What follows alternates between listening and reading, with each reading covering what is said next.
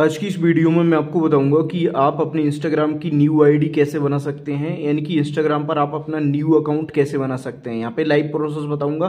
तो सबसे पहले आपको इंस्टाग्राम ऐप डाउनलोड कर लेना है। यदि डाउनलोड नहीं है तो और डाउनलोड है तो अच्छी बात है ओपन कर लेना है आपको। अब यहाँ पे आपको नीचे क्रिएट न्यू अकाउंट का ऑप्शन दिखेगा। आपको इस वाले ऑप्शन पे क्लिक कर देना है।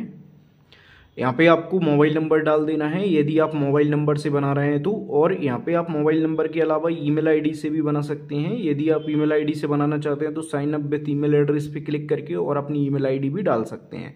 लेकिन हम यहाँ पे अपने मोबाइल नंबर से बना रहे हैं तो मोबाइल नंबर डाल के नेक्स्ट पे क्लिक करेंगे।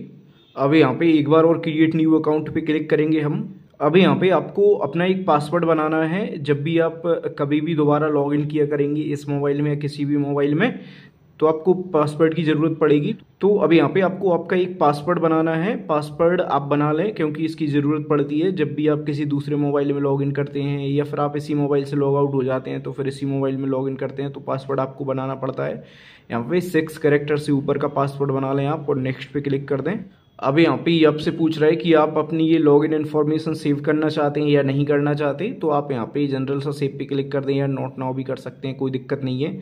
अब यहाँ पे आप अपनी डेट ऑफ़ बर्थ सेलेक्ट कर लें कि किस मंथ में यहाँ पे डे मंथ और किस ईयर में आपका जन्म हुआ था। इस टाइप से आप अपनी full date of birth select कर लें और फिर यहाँ पे आप सेट पे क्लिक कर दें। इसके बाद में आप यहाँ पे नेक्स्ट पे क्लिक कर दें।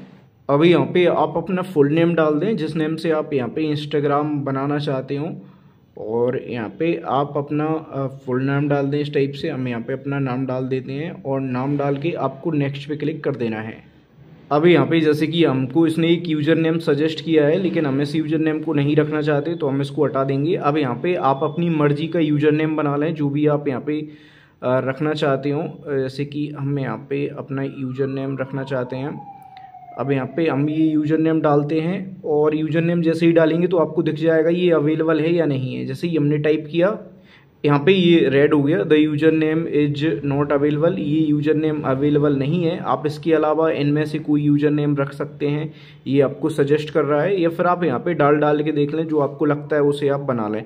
जैसे कि आप यहाँ पे हम इसमें कुछ नंबर सेट करके देखते हैं और फिर देखते हैं ये अवेलेबल है या नहीं है। ये भी अवेलेबल नहीं है। अब इसमें हम और कुछ नंबर्स डालते हैं और फिर देखते हैं। तो ये भी अवेलेबल नहीं है। अब हम इसमें कुछ यहाँ पे नीचे एक डंडा लगाते हैं। उसके बाद में देखते हैं कि ये अवेलेबल होता है या नहीं होता है। जैसे कि हम इसमें ये लगाया हमने। अब यहाँ पे हम देखते हैं, जैसे कि अब ये आ गया है, यहाँ पे ये अवेलेबल है। राइट इस टाइप से आप डाल डाल के देख लें, जो भी अवेलेबल होगा, यहाँ पे ग्रीन राइट का निशान लग जाएगा इस टाइप से और फिर आप यहाँ पे नेक्स्ट पे क्लिक कर दें। इसको आप बाद में चेंज भी कर सकते हैं तो कोई दिक्कत नहीं है यहाँ पे। राइट अब यहाँ पे आपको एग्री कर लेना है आई एग्री पे क्लिक करके। अब यहाँ पे आप अपना एक प्रोफ़ाइल पिक्चर डाल दें, यानी कि अपनी डीपी सेट कर दें यहाँ पे। यदि आप इसको नहीं करना चाहते तो आप बाद में भी कर सकते हैं, आप स्किप पे क्लिक कर सकते हैं, लेकिन अभी हम, अभी करेंगे तो हम यहाँ पे ऐड पिक्चर पे क्लिक करके और यहाँ पे आप चूज़ गैलरी पे क्लिक करके ले सकते हैं या टेक फ़ोटो डायरेक्ट आप कैमरे से क्लिक कर सकते हैं। हम यहाँ पे चूज़ फ्रॉम गैलरी पे क्लिक करके लेंगे। हमारा एक गैलरी में पहले से फ़ोटो डले हुए हैं, उनमें से कोई फ़ोटो लेंगे। अलाउ करेंगे यहाँ पे परमिशंस के लिए। और यहाँ पे हम फ़ोटो देख लेते हैं कि कौन सा फ़ोटो हम इसमें लगाना चाहते हैं। जैसे कि हमने ये वाला फ़ोटो यहाँ पे डाला। अब ये वाला फ़ोटो हम इस अपनी डीपी में लगाना चाहते हैं। अब यहाँ पे डन पे क्लिक कर देंगे। जैसे ही डन पे क्लिक करेंगे अब यहाँ पे आप नेक्स्ट पे क्लिक कर दें। जैसे ही आप नेक्स्ट पे क्लिक करेंगे, यहाँ पे ये आपसे आपके कांटेक्ट की इन्फॉर्मेशन मांग रहा है कि आप कांटेक्ट की इन्फॉर्मेशन दे दें। इससे ये होगा कि आप जितने लोगों को आपने कांटेक्ट में सेव कर रखा होगा, उन सब की प्रोफ़ाइल आपके सामने सजेस्ट होंगी और आपकी प्रोफ़ाइल उन लोगों के सामने सजेस्ट होगी। तो आप ये करना चाहते हैं तो कर सकते हैं बट ना आप यहाँ पे डोंट अलाउ भी कर सकते हैं, कोई दिक्कत नहीं है। यहाँ पे ये आपसे कह रहा है कि आप यहाँ पे फेसबुक से भी लोगों को फाइंड कर सकते हैं। यदि आप फेसबुक से लोगों को फाइंड करना चाहते हैं तो आप कंटिन्यू पे क्लिक कर दें। हम नहीं करना चाहते सिंपल सा। अब यहाँ पे स्किप पे क्लिक कर देंगे। अब एक बार और हम यहाँ पे स्किप पे क्लिक कर देंगे और यहाँ पे हमारी प्रोफ़ाइल हमको इस टाइप से दिखेगी। तो यहाँ पे ये हमसे ये कह रहा है कि आपकी ये जो प्रोफ़ाइल है, इसको आप शेयर करके अलग अलग अपनी सोशल मीडियाज पर और आप अपने दोस्तों वगैरह को इनवाइट कर सकते हैं आपको फॉलो करने के लिए। शेयर प्रोफ़ाइल पे क्लिक करके आप इस प्रोफ़ाइल को यहाँ पे शेयर वगैरह कर सकते हैं व्हाट्सएप पे फेसबुक पे, कहीं पर भी आप करना चाहते हैं, लेकिन हम नहीं करना चाहते तो हम सिंपल से यहाँ पे नेक्स्ट पे क्लिक कर देंगे नीचे।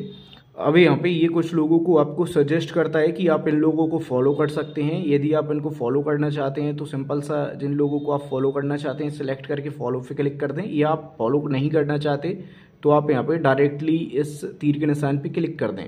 और जैसे ही आप इतना करेंगे, आपका यहाँ पे इंस्टाग्राम पे अकाउंट बन जाएगा। अब यहाँ पे आप जो मर्ज़ी इसका यूज़ कर सकते हैं। आप अपनी स्टोरीज वगैरह लगा सकते हैं पोस्ट रील्स वगैरह डाल सकते हैं। आप यहाँ पे रील्स देख सकते हैं, किसी को फॉलो अनफॉलो जो भी आप करना चाहते हैं कर सकते हैं। यहाँ पे इंस्टाग्राम पे आपका अकाउंट बन चुका है। तो आई होप इस टाइप से इंस्टाग्राम पर अपनी आईडी बना पाएँगे अकाउंट बना पाएँगे। यदि इस वीडियो से हेल्प हुई होगी तो लाइक करें। Thanks for watching video